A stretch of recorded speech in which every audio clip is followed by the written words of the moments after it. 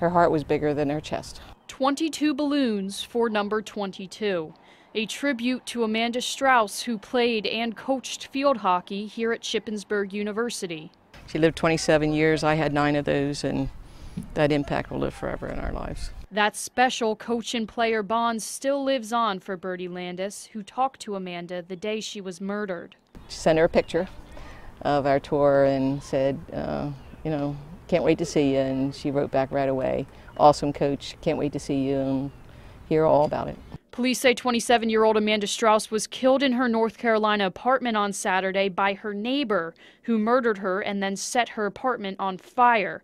Authorities arrested Matthew Thomas Benner in Nevada on Monday. Police say they were able to track him down using the GPS on his cell phone. Just a whippersnapper thinking she knows it all. While number 22 may be gone, her coach says she'll never forget Strauss's compassion. and she always ended with, I love you. And um, if I can do anything, you call. Beccah Hendrickson, News 8.